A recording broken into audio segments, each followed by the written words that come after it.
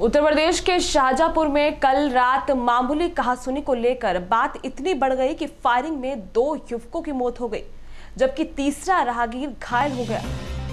मौके से फायरिंग करने वाले एक व्यक्ति को गिरफ़्तार भी कर लिया गया है, जिससे पूछताछ की जा रही है। वही घटना के पीछे पुरानी रंजिश को माना जा रहा है। गाँव में इन्हीं दोनों पक्षों के बीच पहले भी लड़ाई हो चुकी है। इनमें से एक मृतक तीन दिन पहले ही जेल से छूट कर आया है। जो हत्या की कोशिश के मामले में जेल गया था।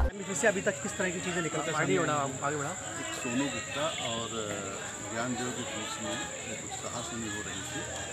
नुमाइश दे के आ रहे थे। कहासुनी हो रही थी जिसमें सोनू गुप्ता ने लाइसेंसी बंदूक से फायर कर दिया है। इसमें से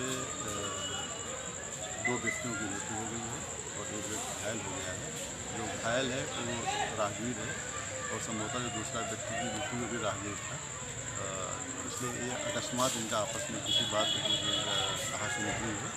इसमें से सोनू को गिरफ़्तार कर लिया गया है और वो असला भी बरामद कर लिया गया है।